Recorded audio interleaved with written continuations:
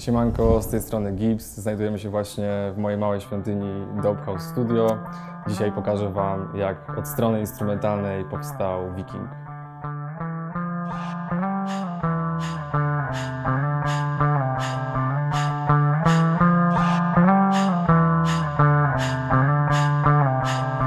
Może znałeś człowieka, może słyszałeś jak gra?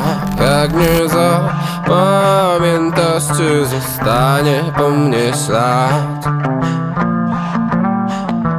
Kiedy skończy się mój czas Historia powstania tego numeru wzięła się właśnie od tej gitary. Numer nagrywaliśmy w fabryce kotów, w takim studiu w Warszawie e, razem z Sariusem. Nie miałem tam na miejscu swojej gitary, a ta leżała w kącie.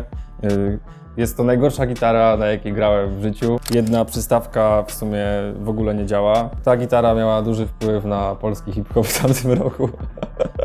Ale to dało właśnie taki efekt, że brzmi to bardzo, żeby nie powiedzieć oldschoolowo, to brzmi to po prostu nawet trochę etnicznie, dlatego specjalnie odkupiłem tą gitarę, żeby mieć ją na pamiątkę i jest doskonałym przykładem tego, że nie trzeba mieć super sprzętu, żeby zrobić coś fajnego.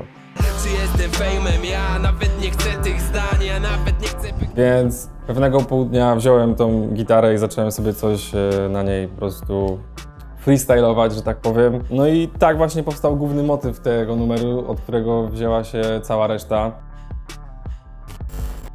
Tak naprawdę y, cały numer powstawał maksymalnie 2,5 godziny od zagrania tego pierwszego riffu do skończenia ostatnich wokali i aranżu. A potem już tylko dwa, dwa dni y, słuchaliśmy non-stop tego numeru.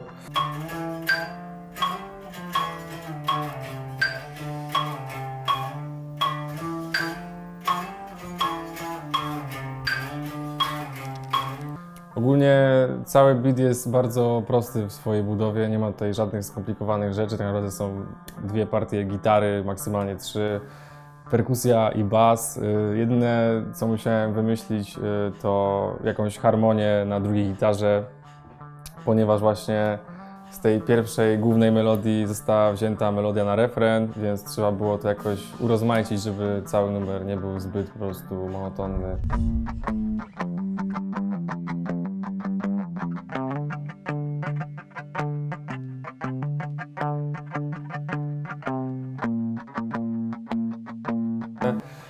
Jedyne co, to duża ekwalizacja na gitarach, ponieważ no, z racji tego, że w tej gitarze jedna przystawka nie działa, to trzeba było to mocno po prostu wyciągnąć, e, żeby miało jakiekolwiek brzmienie.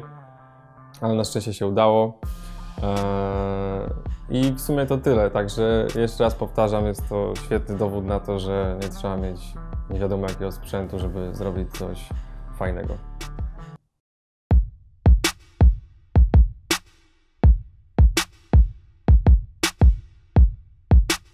Jedyną rzeczą, która urozmaica tutaj bardzo prostą perkusję są właśnie voxy, które y, nadają tego klimatu jeszcze bardziej.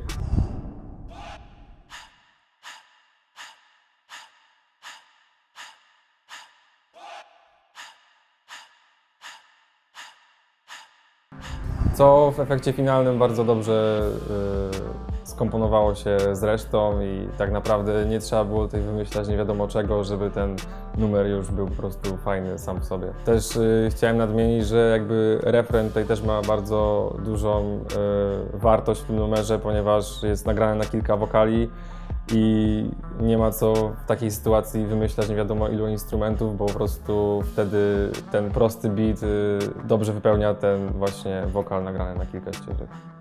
Jedyną wtyczką, którą tutaj użyłem dodatkową spoza gitary, basu i perkusji jest kontakt piątka.